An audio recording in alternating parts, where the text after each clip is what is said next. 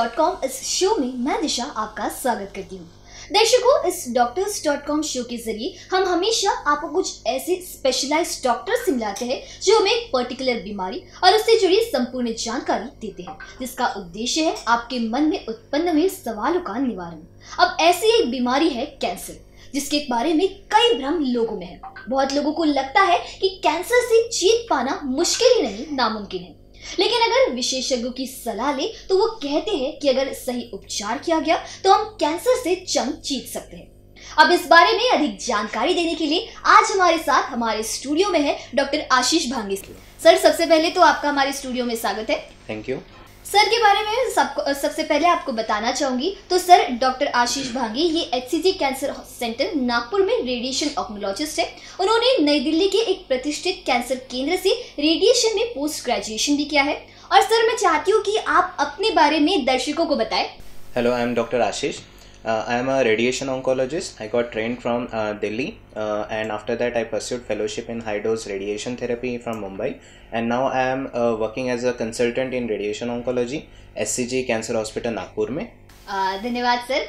Sir, cancer से जुड़े सवालों के बारे में हम आज आप निवारण करने वाले हैं। बहुत सारे भ्रम हैं कैंसर के बारे में। बहुत लोगों को गलत फहमियाँ हैं कैंसर से जुड़ी। पर इन सारे सवालों को शुरू करने से पहले मैं चाहती हूँ कि आप हमारे दर्शकों को बताएँ कि कैंसर आखिर है क्या? सो कैंसर एक ग्रीक वर्ड से आया है, जिसका साधारण लैंग्वेज में मीनिंग होता है क्रैप क्रैप के जैसे दिखने वाला ट्यूमर इसीलिए इसको कैंसर नाम दिया गया है। कैंसर एक ग्रुप ऑफ़ डिसीज है जिसका ओरिजिन होता है जेनेटिक म्यूटेशन की वजह से। Okay. हमारा शरीर जो है ये सेल्स से बना रहता है ट्रिलियंस ऑफ़ सेल से बना रहता है। हर एक सेल का जो स्ट्रक्चर uh, है वो उसकी जीन्स के द्वारा डिसाइड किया जाता है। जब ये जीन्स में म्यूटेशन होते हैं कुछ गड़बड़ी आती है तो वो एक ट्यूमर का रूप लेती है। वो ट्यूमर अनवांटेड यानी जिसकी ज़रूरत नहीं है और अग्रेसिवली जिसकी कोई बढ़ाव की कोई सीमा नहीं है इस रूप में बढ़ता है जिसकी वजह से कैंसर का रूप पैदा होता है। आ, सर मेरा अगला सवाल इस प्रकार है कि आ, हर बीमारी के अलग अलग टाइप्स होते हैं तो कैंसर के कितने प्रकार हैं? सो जनरली हम जब कैंसर की बात कर रहे हैं तो वो ट्यूमर किस टिश्यू से ओरिजिनेट हो रहा है, किस रूप से पैदा हो रहा है, इसके हिसाब से उसके कुछ टाइप्स हैं, जिसका मोस्ट कॉमन एक रूप होता है, जिसे कार्सिनोमा बोलते हैं। तो अलग अलग प्रकार के जो ऑर्गन्स हैं, जैसे लीवर लंग प्रोस्टेट ब्रेस्ट इस प्रकार की ऑर्गन से जो ओरिजिनेट होने वाला है, उसे कार्सिनोमा बोला जाता है। एक बोन्स या जॉइंट से पैदा होने वाली बीमारी को सार्कोमा बोला जाता है। अगर वो ब्लड की घटकों से पैदा होने वाली ट्यूमर को ल्यूकेमियाज बोला जाता है। इसी प्रकार से जो टेस्टिकुलर सेल्स है या ओवेरियन सेल्स है उससे पैदा होने वाले सेल्स को एक प्यूरिपुटन जर्म सेल ट्यूमर बोला जाता है। सर ट्यूमर का ज़िक्र आपने किया तो मैं ये जानना चाहती हूँ कि किस प्रकार से uh, मतलब क्या हम कह सकते हैं कि कैंसर ट्यूमर है या ट्यूमर कैंसर है? अक्सर ये एक हमारे कम्युनिटी मिथ है कि हर एक प्रकार का ट्यूमर कैंसर का होता है तो ऐसा नहीं ओके okay. ट्यूमर के दो प्रकार होते हैं एक होता है बेनाइन ट्यूमर अच्छा जो एक बहुत धीमी रीत से बढ़ता है हम्म। वो बॉडी में शरीर में और कहीं पे फैलता नहीं है okay. इसलिए उसे बेनाइन ट्यूमर बोला जाता है जैसे मिनिंजोमा श्वानोमा तो इसकी रूप एकदम आधा मतलब साधारण रूप से बड़ा हुआ होता है हम्म। दूसरा होता है जो बहुत जल्दी तरीके से बढ़ता है और उसका बीमारी का शरीर में प्रभाव भी इधर उधर ज़्यादा फैलता है तो उसे कार्सिनोमा कहा जाता है। तो ट्यूमर किस प्रकार से? Benign tumour and malignant tumour ऐसे दो प्रकार होते हैं। सर आपने हमें कैंसर के टाइप्स के बारे में बताया तो मेरा एक अगला सवाल इस प्रकार है कि हमारे भारत में पुरुष और महिलाओं में सबसे ज़्यादा आम कैंसर मतलब जो कॉमन टाइप है वो कौन सा है? सो so, uh, हम आप देख सकते हैं आप पेपर में पढ़ते हैं या फिर अपने रिश्तेदारों में भी देख सकते हैं कि आजकल कैंसर का जो निदान है वो ज़्यादा हो चुका है क्योंकि हमारी लाइफस्टाइल ऐसी हो चुकी है अभी और हमारे निदान की तकनीकें भी बढ़ रही हैं तो इस प्रकार से अलग विविध टाइप के ट्यूमर और पुरुष और महिला में देखे जाते हैं okay. अगर हम इंडिया की बात करें तो वर्ल्ड के हिसाब से थोड़ा सा हमारे यहाँ पे जो कैंसर का टाइप है वो डिफर करता है दुनिया भर में पुरुषों में सबसे ज़्यादा पाने जाने वाला ट्यूमर होता है लंग कैंसर okay. जबकि इंडिया में बिकॉज़ ऑफ़ ओरल टोबैको जो हम खर्रा या तंबाकू या पान मसाला का जो हैबिट है उसकी वजह से मुख का कैंसर सबसे ज़्यादा पाया जाता है। जबकि फीमेल्स में सबसे कॉमन हमारे यहाँ पे ब्रेस्ट कैंसर पाया जाता है। Okay. उसके बाद यूट्राइन कैंसर या फिर लंग कैंसर ये मुख्य रूप से देखा जाता है। आ, सर बहुत बार हमें कैंसर हो जाता है पर हमें पता ही नहीं चलता कि भाई इसके सामान्य कारण क्या है मतलब किस तरीके से होता है तो इस बारे में मैं आपसे जानना चाहती हूँ। तो कैंसर के जो कारण हैं ऐसे कुछ घटकों में हम डिवाइड कर सकते हैं। साधारण रूप में पहली होता है एडिक्शंस मोस्ट कॉमन जो होते हैं टोबैको रिलेटेड प्रोडक्ट्स खर्रा तम्बाकू पान मसाला सेकेंड है अल्कोहल तीसरा है खैनी ठीक है? या फिर सेकेंड ग्रुप होगा अगर हमारा लाइफस्टाइल फैक्टर हम्म। जैसे इसमें आना जाता है obesity excessive intake of red meat जैसे हम जो मटन का ज़्यादा प्रयोग जो करते हैं या फिर ग्रीन वेजिटेबल्स ज़्यादा ना खाने में इस्तेमाल करें या फिर जो फ़िज़िकल इनएक्टिविटी है एक्सरसाइज ना करने का जो हैबिट है इसकी वजह से कैंसर का रूप बढ़ रहा है इससे कैंसर पैदा होने में कारणीभूत रीजन होता है तीसरा होता है इन्वायरमेंटल फैक्टर जिसमें रेडिएशन का एक्सपोजर बहुत ज़्यादा इन्वेस्टिगेशन सिटी स्कैन एक्सरेज ज़्यादा रूप में या बचपन में एक्सपोजर सेकेंड होता है सपोज़ कोई वर्क प्लेस पे ज़्यादा डस्ट से एक्सपोजर हो रहा है ओके तो उसकी वजह से लंग कैंसर इस प्रकार के इन्वायरमेंटल कॉजेस होते हैं। इसके अलावा कुछ वायरसेस है जो कुछ प्रकार के कैंसर पैदा कर सकते हैं। आ, सर अगर किसी व्यक्ति को आ, कैंसर हो ज, आ, हो जाता है तो वो कैसे सस्पेक्ट करेगा कि कैंसर हो चुका है? मतलब तो अ, जब हम बात करते हैं सिम्टम्स की ओके तो जनरली हम साधारण व्यक्ति को ये बताते हैं कि अगर आपकी बॉडी में कोई गांठ है हम्म। जो एक महीने से ज़्यादा अंतर पे अभी भी है बढ़ रही है तेज़ी से बढ़ रही है या फिर कोई फोड़ा है जो बैठ नहीं रहा है या फिर आपका वज़न कम हो रहा है दस परसेंट से ज़्यादा आपका वज़न कम हो चुका है आपको लंबे समय से बुखार चल रहा है जो कम नहीं हो रहा है आपकी आँखों की रोशनी कम हो रही है या फिर झटके आ रहे हैं इस प्रकार के कोई लक्षण है जो एक महीने से ज़्यादा तकलीफ़ दे रहे हैं तो उस समय पे आपके डॉक्टर का एक सलाह लेना ज़रूरी होता है। ओके। okay. सर बहुत बार मतलब कैंसर किसी व्यक्ति को हो जाता है उसके बाद उसकी जो सिचुएशन होती है वो बहुत पैनिक करने लग जाता है। आ, तब तो वो वैसी उम्मीद छोड़ देता है कि भाई कैंसर हो गया है तो it it will lead to death. पर अगर किसी इंसान को पहले समझ गया कि भाई मुझे कैंसर हो गया है तो उसके बाद उसे क्या करना चाहिए? सो जनरली सबसे पहले अगर मान लो बेसिक टेस्ट करने के बाद हमें अगर पता चल रहा है कि ये कैंसर अ, का निदान हो सकता है तो इसके लिए अभी अ, अपना अ, शहर में एक डेडिकेटेड कैंसर सेंटर्स अभी एग्जिस्ट करते हैं ओके तो वहाँ पे जाके जो विशेषज्ञ होते हैं कैंसर हम्म। के उनका एक सलाह लेना चाहिए अच्छा। उसके लिए एक प्रॉपर इन्वेस्टिगेशन रिक्वायर्ड रहते हैं, जिसका डायग्नोसिस मतलब हमें होता है कि पहले तो उसका टिश्यू निकाला जाता है, जहाँ से हमें कैंसर की सस्पेक्ट है, वहाँ से टिश्यू निकाल के उसका जाँच के लिए भेजा जाता है। उसके साथ उस पार्ट का सीटी स्कैन या एमआरआई स्कैन करके उसकी निदान किया जाता है कि बीमारी में ज़्यादा फैलाव तो नहीं हुआ है या बीमारी, जहाँ पे बीमारी ओरिजिनेट हुई थी, वहीं पे वही है या फैल चुकी है।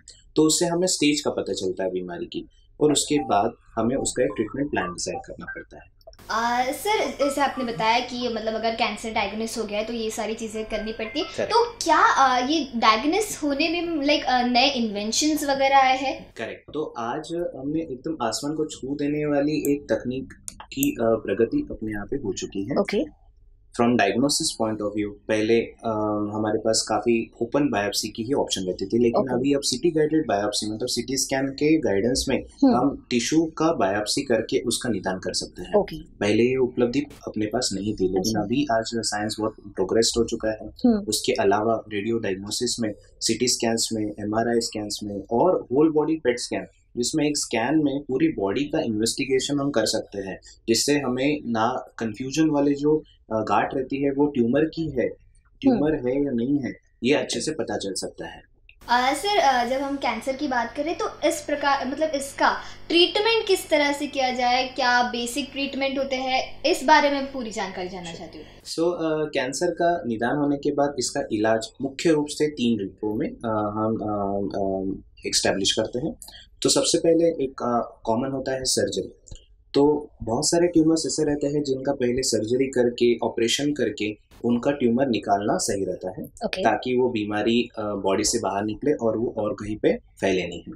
उसके बाद उस ट्यूमर का निकालने के बाद हमें डिसाइड करना पड़ता है इस पेशेंट को आगे भी कुछ और इलाज की ज़रूरत है जैसे कीमोथेरेपी या फिर रेडिएशन थेरेपी ओके तो इस प्रकार से surgery operation chemotherapy and radiation therapy ये तीन मुख्य पहलू है इलाज के। Okay okay. सर जिस तरीके से आपने बताया कि अ, जो डायग्नोस है उसमें नए इन्वेशंस आए हैं तो क्या उसी प्रकार से कैंसर uh, के उपचार में भी नई तकनीक आई है? करेक्ट सो अगर हम तीनों जो हमारे पहलू है इलाज के ऑपरेशन ले लीजिए या फिर कीमोथेरेपी ले लीजिए या रेडिएशन थेरेपी हम्म। इसमें एक बहुत ही अच्छी प्रगति हो चुकी है। ओके पहले डर इस चीज़ से लगता था कि अगर हम इलाज करेंगे तो इलाज से जो रिलेटेड कॉम्प्लिकेशन है उससे हमें तकलीफ़ हो सकती है। हाँ। लेकिन उसको कम करने के लिए हमने साइंस में प्रगति हुई है।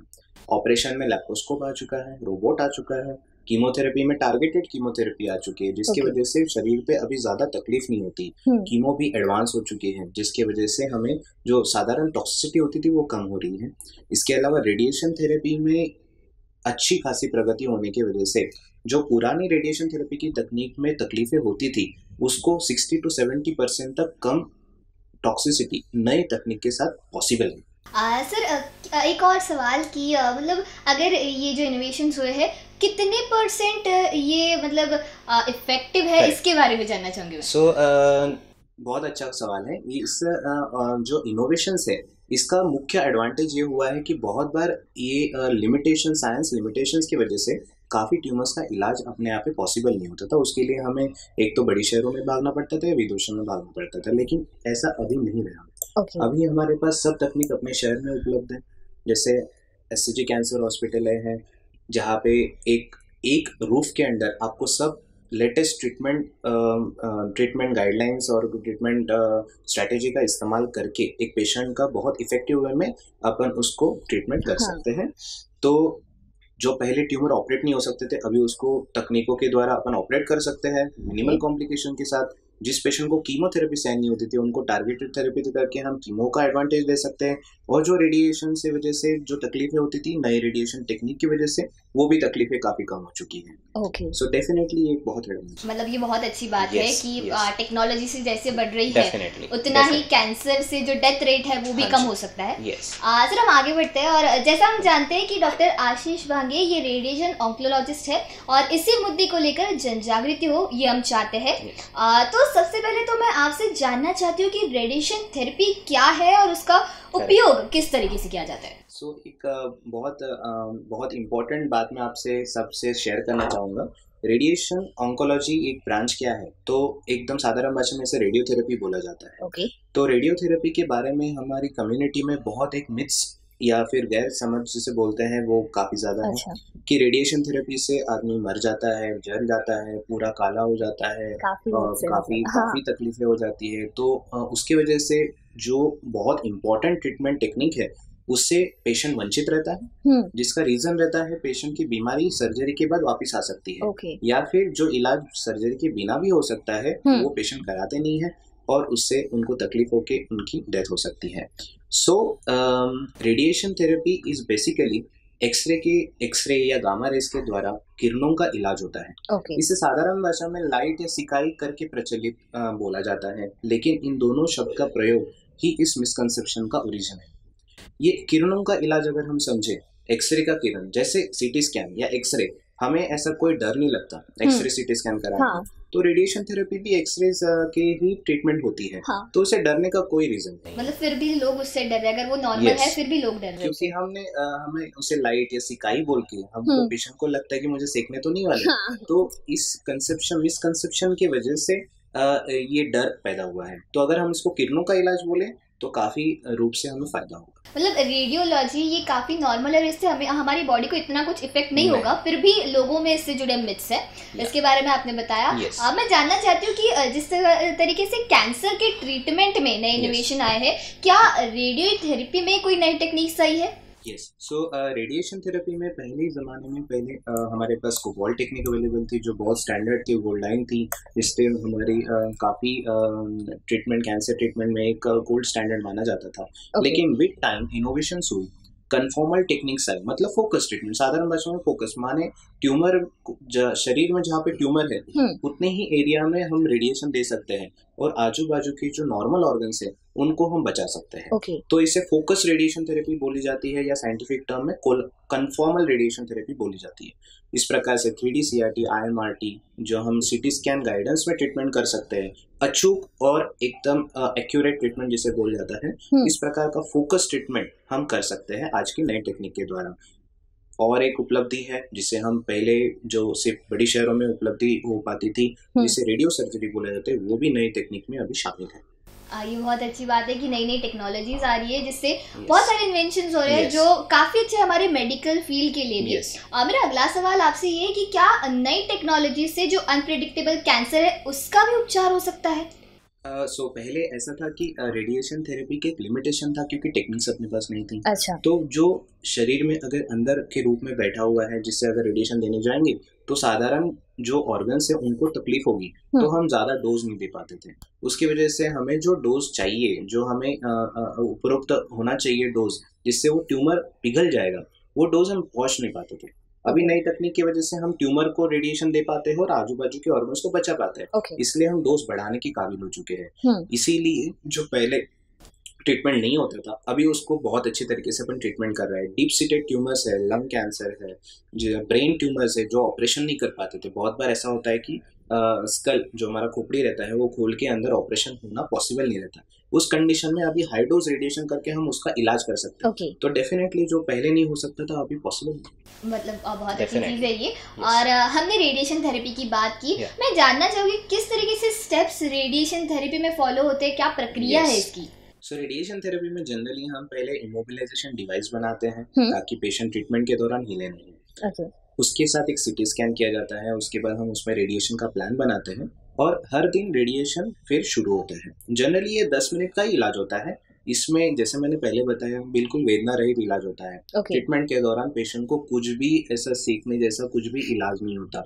इसमें कोई दर्द नहीं होता। अच्छा। दस मिनट का इलाज रहता है एडमिशन की गरज नहीं रहती है। इसके तरह इस तरह रेडिएशन का इलाज बहुत ही सिंपल तरीके से होता है। सो so, जनरली ये एक लेटेस्ट रेडिएशन टेक्निक है। जिसे हम साधारण भाषा में अगर समझे तो ये सर्जरी ऐसे नाम में आता है। लेकिन ये कोई सर्जरी नहीं है ऑपरेशन नहीं है। हम्म। ये ऑपरेशन जैसा जो इफ़ेक्ट है ट्यूमर को पिघलाने का हाई डोज रेडिएशन के साथ। ओके यानी सर्जरी का जो इफ़ेक्ट है अगर हम हाई डोज रेडिएशन के साथ वो करें हम्म। इसलिए उसको रेडियो सर्जरी कहा जाता है। तो रेडियो सर्जरी का एडवांटेज का और उसका यूज़ का होता है? मोस्ट कॉमन ब्रेन ट्यूमर्स में ओके मोस्ट कॉमन जब ब्रेन ट्यूमर ऑपरेशन करने योग्य नहीं रहता या फिर ऑपरेशन करने से रिस्क हो सकती है हम्म। उस ट्यूमर्स को हम हाई डोज रेडिएशन के द्वारा उसको ट्रीटमेंट कर सकते हैं ओके जिसमें pituitary tumours adenoma schwannomas meningiomas या फिर जो एवीएम्स रहते हैं हम्म। उसको हम इलाज कर सकते हैं ओके या फिर अभी नई साइंस की जो प्रगति हो चुकी है उसके साथ अगर हम्म। कोई लंग ट्यूमर है या फिर पैंक्रेटिक ट्यूमर है या फिर प्रोस्टेट ट्यूमर है हम्म। जिसका ऑपरेशन नहीं हो सकता अच्छा उनको भी हम हाई डोज रेडिएशन यानी रेडियो सर्जरी जो कि कोई ऑपरेशन नहीं है बस हाई डोज रेडिएशन है इसके द्वारा हम इफ़ेक्टिव इलाज कर सकते हैं मतलब हम ये कह सकते हैं कि जिस चीज़ से लोग बहुत ज़्यादा डरते हैं उसी Correct. के बहुत सारे उपयोग है मतलब Yes. काफ़ी बेनिफिशियल चीज़ yes. है साइंस ने बहुत प्रगति कर चुकी है हाँ। सिकाई से लेके हाइड्रोज रेडिएशन तक काफ़ी प्रगति हो चुकी है तो लोगों को यही है कि इस चीज़ Yes. से डरना नहीं चाहिए और इसका उपयोग करना चाहिए क्योंकि उन्हीं के लिए बेनिफिशियल है ये चीज़ आपसे पूछनी थी कि कैंसर में आ, जिस तरीके का हम डाइट लेते हैं जिस तरीके की हम एक्सरसाइज करते हैं किस तरीके से आप कैंसर और डाइट को जोड़ेंगे किस तरीके से आप एक्सरसाइज और कैंसर को जोड़ेंगे? हमेशा अक्सर हम ये चीज़ देखते हैं कि पेशेंट्स का इलाज काफ़ी रूप पे ऐसा होता है कि ऑपरेशन कर लिया कीमोथेरेपी ले लिया रेडिएशन थेरेपी ले लिया और उसके बाद फिर वो कुछ और जो इम्पोर्टेंट घटक है वो फॉलो नहीं करते हैं। अच्छा। हम अपने दर्शकों को ये बताना चाहेंगे अगर कोई पेशेंट आपके पहचान में है उनको आप ये तीन चीज़ों का भी इम्पोर्टेंस बताइए। सबसे पहले तो है कि डाइट हमारी एक कम्युनिटी में मिसकंसेप्शन है कि अगर कोई पेशेंट बीमार हो जाता है तो उसको नारियल पानी ही देना है और जूस ही देना है। हाँ मतलब और कुछ नहीं देना है। हाँ। तो ये एक बहुत गलत चीज़ है। हमें उसको ज़्यादा से ज़्यादा प्रोटीन युक्त डाइट देने की बहुत ज़रूरत है। जो कि हमारे साधारण जो डाइट प्रोडक्ट्स रहते हैं उससे ही आपको काफ़ी मटेरियल्स मिल सकता है इंटरनेट पे या फिर पढ़ने में। आपको डाइटिशियन गाइड कर सकते हैं कि आपको कहाँ कहाँ पे किस चीज़ों से ज़्यादा प्रोटीन का इंटेक मिलेगा। उसकी बॉडी में आपकी रिकवरी के लिए काफ़ी मदद होती है। तो डाइट इंपॉर्टेंट है। ज़्यादा से ज़्यादा फल फूल खाना है ग्रीन वेजिटेबल्स ज़्यादा अपने खाने में इस्तेमाल करने हैं दूध पीना है पनीर है ना? तो ये जो प्रोटीन्स की प्रोडक्ट्स है वो इम्पोर्टेंट है। दूसरी इम्पोर्टेंट है एक्सरसाइजेस जिस ऑपरेशन जिस पार्ट का हुआ है उस पार्ट में तकलीफ़ हो सकती है उसकी वजह से रेगुलर एक्सरसाइजेस बहुत आवश्यक रहती है। Okay. वो इक्वली इम्पोर्टेंट है ट्रीटमेंट की तरह। तीसरा रहता है meditation social wellbeing and mental wellbeing is also very important for cancer patient rehabilitation इलाज होने के बाद पेशेंट एक कैंसर एक बहुत डिप्रेसिव स्टेज है हाँ. पेशेंट को बाहर निकलने के लिए मेंटल स्ट्रेस से बाहर निकलने के लिए मेडिटेशन एक बहुत इम्पोर्टेंट चीज़ मानी जाती है मतलब हम कह सकते हैं कि प्रॉपर डाइट प्रॉपर एक्सरसाइज इन सारी चीज़ों की वजह से भी जो कैंसर है Yes. वो जल्दी रिकवर yes. हो सकता है और जो पेशेंट yes. है उन्हें भी रिकवरी में Yes. काफ़ी आसानी होगी डेफिनेटली मेरा आखिरी सवाल आपसे है कि आ, हमारा जो कैंसर है उसकी देखभाल के लिए आप मतलब किस तरीके से मैसेज देंगे तो एक इम्पोर्टेंट मैसेज कम्युनिटी को हम देना चाहेंगे कि जनरली हम कैंसर से डरते हैं लेकिन कैंसर के कारणों से नहीं डरते कैंसर के सबसे मुख्य कारण जो है तंबाकू, इनका सेवन बंद करें, अल्कोहल का इंटेक कम करें और अपनी लाइफस्टाइल को अच्छा मॉडिफाई करें। ज़्यादा से ज़्यादा ग्रीन वेजिटेबल्स का इस्तेमाल करें, फल फ्रूट खाएँ और एक्सरसाइज करें मेडिटेशन करें। इससे काफ़ी रूप से आप कैंसर से बच सकते हैं। अगर आपको कोई समस्या है, जिसे आपको लगता है कि डॉक्टर को दिखाना चाहिए तो सही समय पे सही डॉक्टर के पास जाए, उनका सलाह लें और वो जो आपको एडवाइस देंगे, उसको सही समय पे इस, उसका इन्वेस्टिगेशन करें।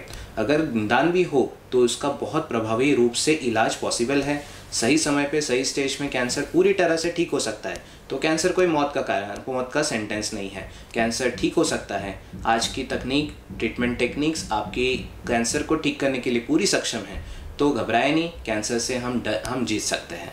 मतलब हम कह सकते हैं कि कैंसर से बचना काफ़ी आसान है बट कुछ सिंपल स्टेप्स जिन्हें हमें फॉलो करना है कि प्रॉपर एक्सरसाइज प्रॉपर डाइट साथ में जितनी भी ड्रग एडिक्टिव चीज़ें हैं उनका सेवन नहीं करना है Yes. और अगर आपको कुछ पेन वगैरह हो तो अगर अर्ली डिटेक्शन Sure. करना ही ज़रूरी है हमारे. लिए जो हमें बहुत हेल्प करेगा yes. और कैंसर से जंग भले ही मुश्किल हो पर Yes. ये बिल्कुल नामुमकिन नहीं है जो लोगों को लगता है thank you so much sir आपने आपका इतना कीमती टाइम हमें दिया और बहुत सारी चीज़ें हमने कैंसर से जुड़ी जितने भी मिथ्स थे रेडियोलॉजी से जुड़े थे जितने भी मिथ्स थे इन सब का आपने निवारण किया। तो फिर से एक बार आपका शुक्रिया। और आज के हमारे डॉक्टर्स डॉट कॉम इस शो में फ़िलहाल इतना ही। आपसे फिर मुलाकात होगी डॉक्टर्स डॉट कॉम के अगले एपिसोड में। तब तक के लिए देखते रहिए बीसीएन न्यूज़ नमस्कार। Thank you